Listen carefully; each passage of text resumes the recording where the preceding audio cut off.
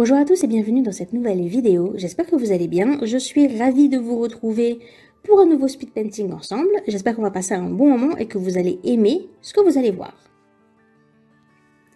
Il y a deux dessins pour ce speed painting. Le premier c'est celui que vous voyez là et le deuxième va rester exclusif pour Patreon.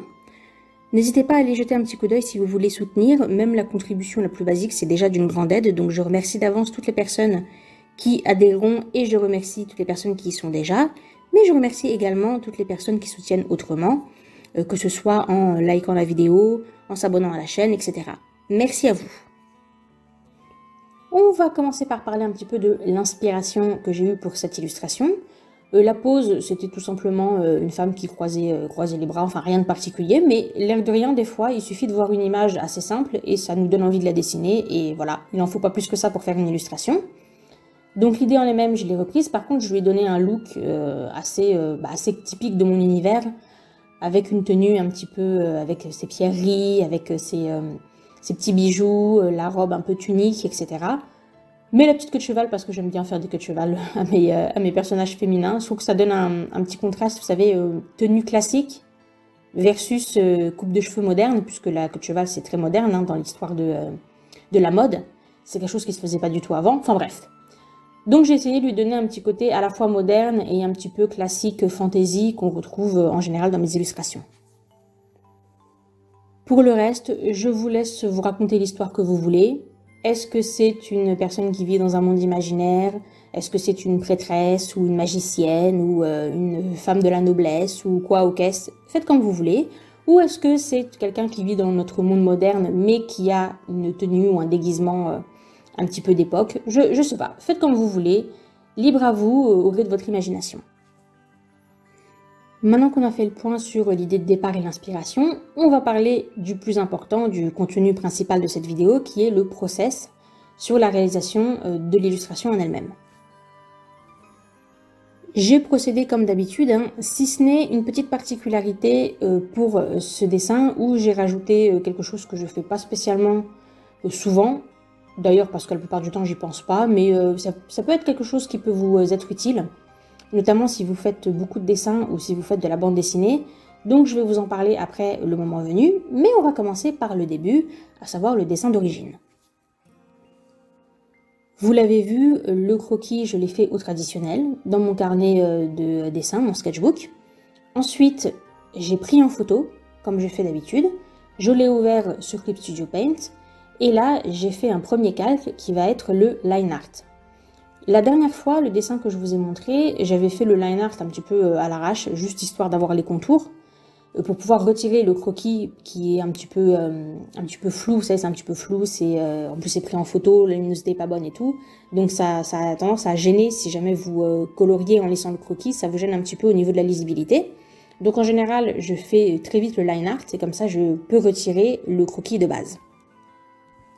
Et sur le dessin de la dernière fois, c'était la magicienne avec son, gros félin là. Et j'avais fait un line art assez basique, où je ne m'étais pas du tout appliqué parce que je savais que j'allais le refaire beaucoup plus proprement après coup. Là, j'ai pas fait comme ça, j'ai fait dès le début un line art assez appliqué, avec un outil qui n'est pas un outil d'origine, je l'ai téléchargé, c'est un, outil plume. Je peux pas vous dire son nom parce qu'il est en japonais, mais euh, bref, essayez de zoomer pour regarder si jamais il vous intéresse. Cela étant dit, des outils qui se ressemblent beaucoup et qui sont totalement gratuits, il y en a énormément sur le Clip Studio Paint Assets, donc n'hésitez pas à les regarder. Et puis vous allez peut-être trouver quelque chose qui moi m'a pas spécialement parlé, mais qui en fait est vachement bien pour vous, donc euh, n'hésitez pas. Donc j'ai utilisé cet outil plume qui, euh, comme vous le savez, est un outil texturé, parce que j'utilise toujours des outils texturés, j'aime pas quand c'est trop plat et trop régulier. Et euh, ce line art, je l'ai laissé à peu près tranquille une fois que je l'ai fini, mais en général, arrivé à un moment, je le, je le retravaille pour le coloriser principalement. Mais bon, au début, je le laisse juste au trait noir. Comme ça, après, je retire donc le croquis et je crée un calque par zone de colorisation. Donc en général, un calque pour la peau, un calque pour la robe, un calque pour les petits bijoux, un calque pour les cheveux, etc. Une fois que ça c'est fait, je remplis les zones avec une couleur basique. Donc là, vous avez le choix, soit vous le faites manuellement. Des fois, ça peut être nécessaire si vous avez utilisé un, brush très texturé pour faire le line. Ou bien vous utilisez le pot de peinture, il marche extrêmement bien dans Clip Studio Paint, donc euh, faites comme vous le sentez. Si c'est assez simple, vous pouvez vous permettre d'utiliser un, pot de peinture. Hein. Franchement, c'est ça va beaucoup plus vite. Et l'idée de poser ces couleurs un peu basiques, ça a deux utilités. La première, c'est que ça vous permet de vous rendre compte des couleurs et est-ce que ça marche bien? Bon, évidemment, là, le dessin, il est assez simple. Hein, donc, euh, le personnage, en gros, à part la couleur de la robe, que je pouvais choisir un peu comme je voulais, sinon, des teintes de peau, il n'y en a pas 15 000. Enfin, si vous faites des choses réalistes, hein, parce qu'évidemment, vous pouvez faire des peaux euh, vert fluo, si vous voulez. Mais moi, je fais plutôt du réalisme. Donc, en général, en couleur de peau, bah, ça va être des beiges plus ou moins foncés, des marrons plus ou moins foncés. Et pour les cheveux, j'ai tendance à utiliser aussi des couleurs souvent assez réalistes. C'est rare que je fasse des cheveux genre bleu, turquoise, etc. Par contre, j'aime bien mettre un petit peu euh, des, couleurs à l'intérieur. Un peu du bleu, un peu du violet, mais plus pour, euh, plus pour la beauté, l'esthétique que réellement euh, pour faire genre les cheveux sont colorés. Donc mettre ces appareils de couleurs, surtout si vous avez fait un dessin très complexe avec des motifs, beaucoup d'éléments, des vêtements, plusieurs personnages, etc. Ça vous aide à avoir une idée globale de, de ce que ça va rendre au niveau des couleurs. C'est très important parce que vous savez la théorie des couleurs, ça fait que une couleur en fonction de son environnement, donc des couleurs qui sont à côté, elle va paraître totalement différente. Donc c'est important de placer d'abord les couleurs environnantes. Et d'ailleurs, petit aparté, je l'ai jamais fait sur un speed painting, mais peut-être qu'un jour il faudrait que je vous le montre. Euh, sur Clip Studio Paint, on a un, genre de fonctionnalité qui est euh, en test. C'est pas une fonctionnalité définitive, mais ils sont en train de la développer, qui s'appelle la colorisation automatique. Et en fait, l'idée, c'est que vous allez mettre des, euh, espèces de blocs de couleurs. Genre vraiment, vous allez faire un, vite fait, un deux trois traits avec une couleur, en posant les couleurs euh, un peu euh, partout. Donc imaginez, là, si je l'avais fait, j'aurais mis juste un peu de beige sur la peau, un peu de couleur gris foncé sur les cheveux, un peu de violet pastel sur les vêtements. Et après, vous demandez au logiciel de faire la colorisation automatique et il va en quelque sorte étaler les couleurs. C'est un outil un petit peu spécial. Ça rend très étrange et en même temps, euh, j'ai vu des gens faire carrément des illustrations avec euh, cette base-là. En tout cas, ce qui est pratique, c'est que ça a le même effet, c'est-à-dire que ça va vous donner tout de suite une, euh, une couleur et ça prend littéralement deux secondes. Hein. Vraiment, c'est hyper rapide à faire. Et au moins, vous voyez tout de suite si vos couleurs, elles marchent bien ensemble. Si le résultat, c'est comme vous l'aviez imaginé ou si ça vous plaît pas, vous pouvez modifier. Donc ça, c'est plutôt pas mal comme, comme fonctionnalité. C'est vrai qu'en général, j'ai une idée assez précise des couleurs que, que je veux. Mais si vous avez des doutes, surtout si vous faites des décors ou des choses très compliquées, bah cet outil-là, il est vachement pratique. Et euh, même pour les gens qui ont du mal à visualiser euh, mentalement les choses, bah ça peut être pas mal. Bref, une fois que vous avez posé vos couleurs et que vous êtes OK avec vos choix, l'autre gros avantage d'avoir colorié les zones, c'est qu'ensuite vous pouvez verrouiller vos calques. Ça veut dire que vous allez dire à votre logiciel que la zone que vous avez colorisée comme étant la zone de la peau, par exemple, eh ben, vous ne pourrez plus dépasser de cette zone-là. Ça va vous éviter de devoir euh, dépasser, regommer, faire attention à pas déborder sur une autre zone, etc. Ça, c'est littéralement euh, euh, mon, petit système préféré. Vous pouvez, il y a deux façons de le faire. Hein. Vous pouvez soit verrouiller votre calque, donc ça s'appelle, je crois, verrouiller les pixels, un truc comme ça. Soit vous, pouvez créer un calque par-dessus que vous allez clipper, c'est comme ça que ça s'appelle, clipper sur le calque du dessous, et il va copier la zone où vous avez colorisé. C'est-à-dire que vous n'allez pas pouvoir dépasser de la zone. Euh, le, résultat est le même, hein. c'est-à-dire que l'idée c'est que vous n'allez pas dépasser de la zone. Mais l'avantage d'avoir créé un nouveau, calque que vous avez clippé, c'est que vous ne touchez pas au calque d'origine. Au cas où vous voulez le conserver, bah vous pouvez faire cette méthode-là. Dans les deux cas, l'idée c'est que vous n'allez pas dépasser de la zone que vous avez euh, préalablement établie. Vous avez un exemple concret avec cette illustration parce qu'en fait, euh, pour le blush du personnage, c'est-à-dire euh, les zones un peu plus roses sur les joues, le rouge à lèvres et j'aime bien aussi mettre un petit peu de couleur sur le nez, ce que j'ai fait, c'est que j'ai créé un nouveau calque parce que je ne voulais pas toucher le calque de la peau au cas où j'allais rater ou quoi.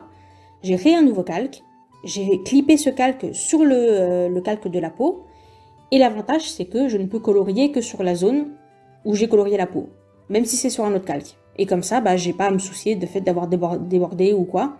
Il n'y a pas de souci, ça va colorier que sur la zone, ça va pas déborder sur les cheveux, ça va pas déborder sur la robe, ça reste parfaitement là où j'ai mis la teinte de la peau.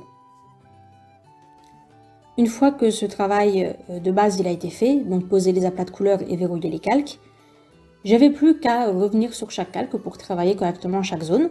Donc en général, je commence par les zones les plus importantes ou les plus dominantes.